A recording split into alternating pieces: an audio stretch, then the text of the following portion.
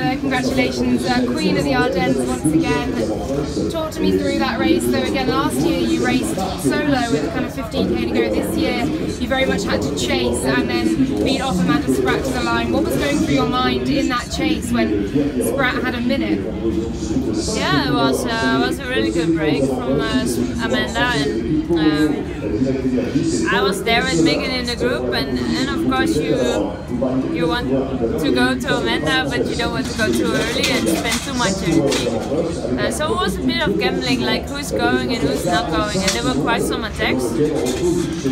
So um, we just kind of wait for that, and I knew the hard climb was still coming up, so I tried to bridge to Amanda and in the end that worked quite well. And for you, has your spring, did you ever imagine that it would go this well? Did you ever imagine that you'd have the sort of spring you, have been having, especially off the back of success like you had last year?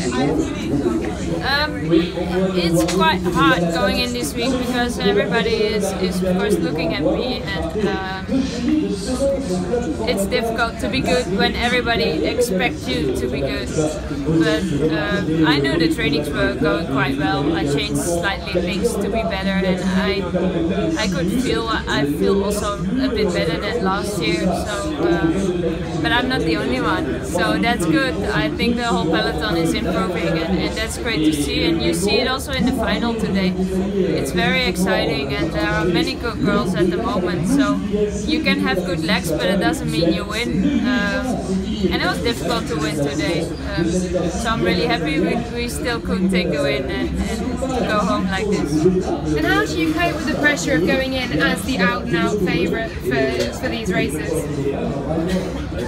Yeah, it's it's quite difficult when everybody says you have to win to um, to be the favorite, but at the other side, I try not to listen too much to it and try to enjoy, see how a race goes. I mean, I also can have a bad day and then I, I won't win. Um, so I love racing like this and to see that other teams also really take initiative uh, to see that Canyon has many girls in front and also uh, a lot of attacks are there. So that's the way of racing, which is really exciting. And I'm sad it was not on, on television today. Hopefully in the future it will be, but it really shows that um, it's developing and, and it's hard, but at the same time I think if you love the cycling and to enjoy it, then, then the pressure is less uh, yeah, in your mind the whole day.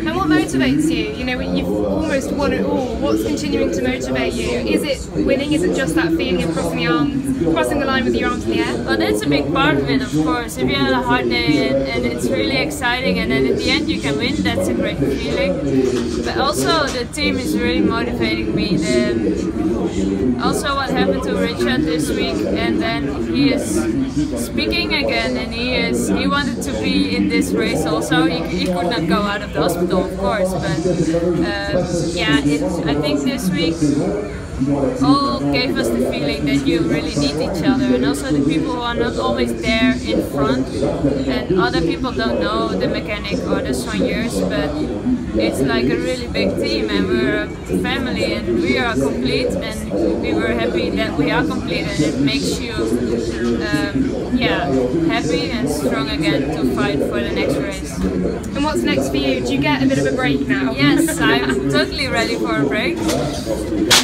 Uh, it's hard a week like this and you need to focus again and to recover and then the next race and, um, and for me I can be really focused for a short period but now I need a break. So first the break and then the second part of the season is coming. Best of luck for that and congratulations today amazing performance. Thank you